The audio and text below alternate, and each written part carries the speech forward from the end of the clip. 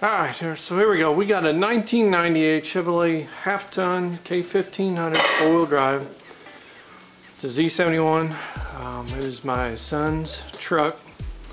And we have already cut out all the rocker panels, all the cab corners, and the uh, fender flares are above the rear wheels on the bed sides. We've cut that out as well. We went ahead and put the Herculiner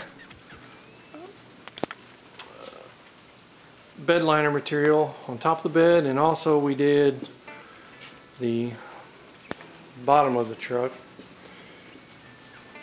that we have there. The truck has actually got a little over 300,000 miles on it. It's got a ton of miles on it, but we went ahead and started working on it today. We went ahead and started picking, taking out the front grille. And what we're gonna do, we're gonna take the front bumper off from the front grill Uh, already took the, and the radiator support core, we're gonna take that out as well.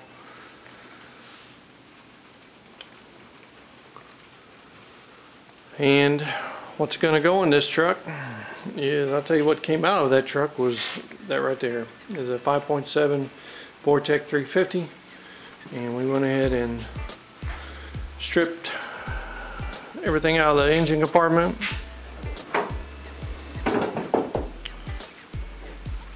This is the engine compartment here. We pulled the engine out. And let me show you what's gonna go into it. That's what's going into it. It's a 1990 Cummins 4BT turbo. Um, my son and I, we went ahead and uh, did a partial rebuild on it, pulled it apart. We uh, honed the cylinders, put new rings in it, put all new uh, rod and main bearings in it. Ground the valves and got it all painted up. And basically, uh, we're as soon as we get the core support out, radiator core support, we're going to start building the motor mounts for it.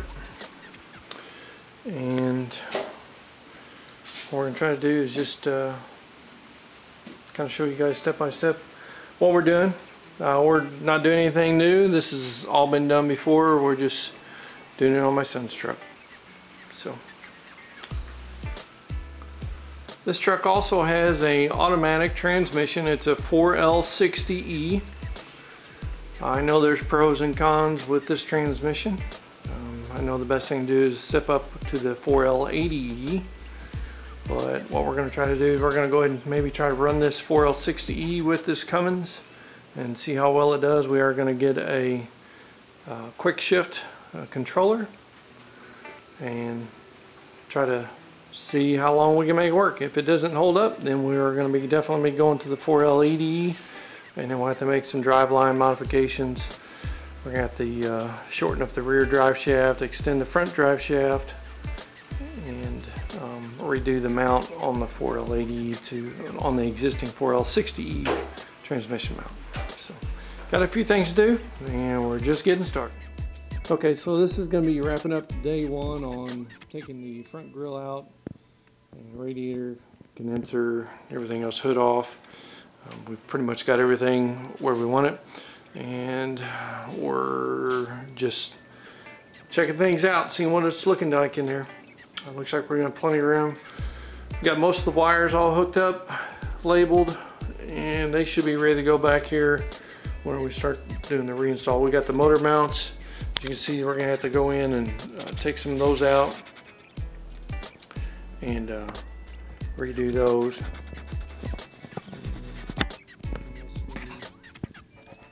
Quickly, I hope uh, we've also got to either get a vacuum pump for the brake booster or possibly go ahead and um, do a hydro boost off of uh, probably a 2500 or some type of GM or Chevrolet and uh, we got some other parts out that we needed out. Got uh, air conditioner lines disconnect the alternator out, AC compressor out, transmission cooler, and uh, looks like should be ready to go here uh, for the next day.